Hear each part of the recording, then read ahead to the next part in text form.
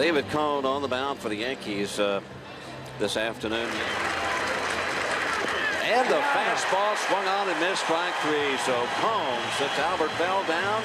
Both started as shortstops. Did he go around and yes, he sir. Did. All so Cousins right. at third says Sorrento went too far. There's two away now. And pops it up left All side of the right. infield. Boggs is calling for it. Now Leyritz, and it's going to be Wade Boggs. right. Anyway, the count one ball, two strikes to Lofton. Breaking He's ball in there, strike three. Woohoo. Lofton is You gone. can't believe it. The Last time we played, last time we played, as Boggs takes the beat on this, I had a hold and run, hold and one. Who did? I did. No kidding. Mick was my partner in the pro am. That was a lot of fun too. Three and two. And he got him. Got him. He has made some great three and two pitches.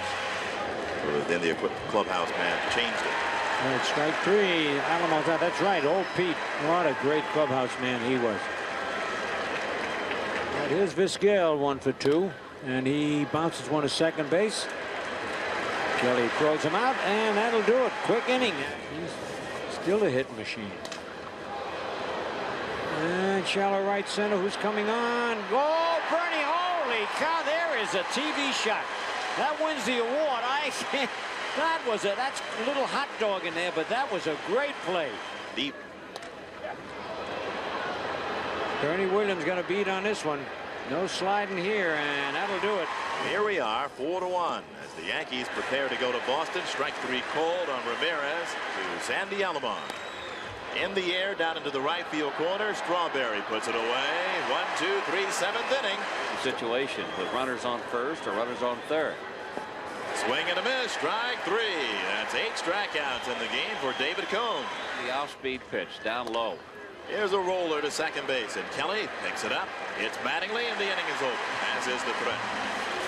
Thome away from first, and the one-two is swung on and missed. Up and in. Nine strikeouts for Cone. Two outs, ninth inning, 4-1 Yankees. And it swung on and hit sharp to third. Boggs will do it across.